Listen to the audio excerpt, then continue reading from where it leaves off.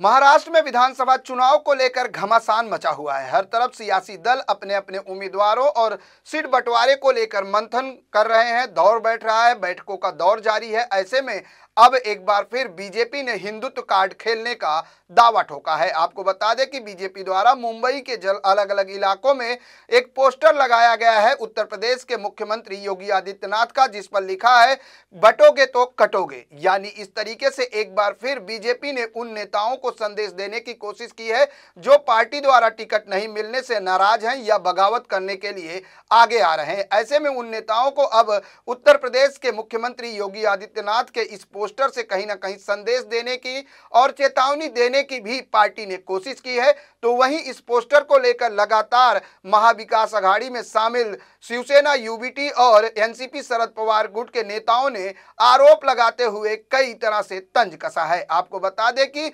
NCP Sharad Pawar गुट के विधायक रोहित पवार ने कहा कि इस तरह से पोस्टर लगाकर एक बार फिर बीजेपी हिंदुत्व का कार्ड खेलना चाहती है तो दूसरी तरफ़ शिवसेना, यूबीटी के प्रवक्ता आनंद दुबे ने भी बीजेपी पर जमकर हमला बोला है। उन्होंने साफ़ तौर से कहा कि इस तरह से आर्थिक राजधानी मुंबई में पोस्टर लगाना सही नहीं है तो दूसरी तरफ़ लगातार जो है बीजेपी एक तरह से चुनाव के दौरान हिंदुत्व का कार्ड खेलने की कोशिश में जुटी हुई है। आइए आपको सुनाते हैं कि इस पोस्टर वार को लेकर दोनों पक्षों के नेताओं ने क्या कुछ कहा।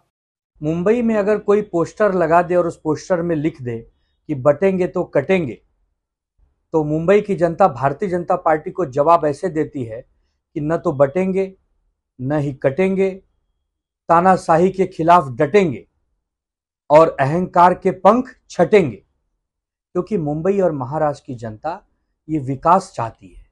मुंबई महाराष्ट्र की जनता आपस में मिलजुल कर रहना चाहती है।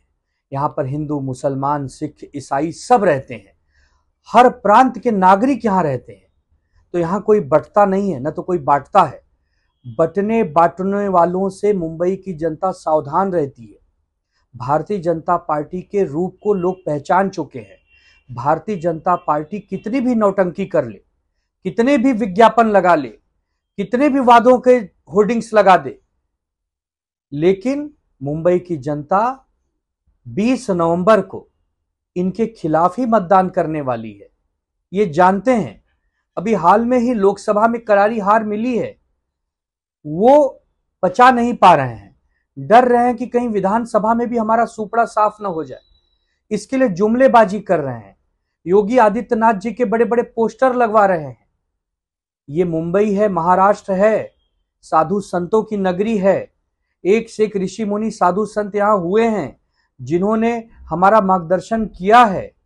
तो यहाँ पर ये बटने, कटने, छटने वाली राजनीति लोगों को पसंद नहीं आती। यहाँ विकास की बात होती है, रोज़गार की बात होती है। इंफ्रा की बात होती है, डेवलपमेंट की बात होती है, लोगों के घरों में चूल्हे कैसे जले उसकी बात होती है। जनता कह रही है कि हम डटेंगे, आपके खिलाफ डटेंगे, ताकि जो आपके अहंकार के पर हैं, वो छटेंगे। देखो, अमित शाह साहब ने ऐसे कहा था कि गुजरात स्टाईल की राजनीति अभी महाराष्ट्र में लानी पडेगी।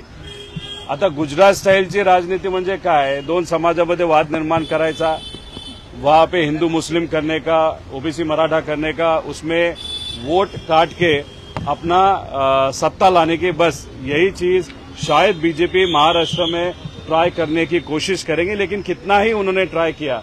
ये संतों का महाराष्ट्र है ये विचारवंतों का महाराष्ट्र में यहाँ पे वैसा कुछ नहीं होगा। ये गुजरात स्टाइल है ना यहाँ के स्वाभिमानी महाराष्ट्र के लोग अपने पैर के नीचे तुड़वाएँगे और यहाँ पे महाविकास आघाड़ी 100 परसेंट चुन के आएगी।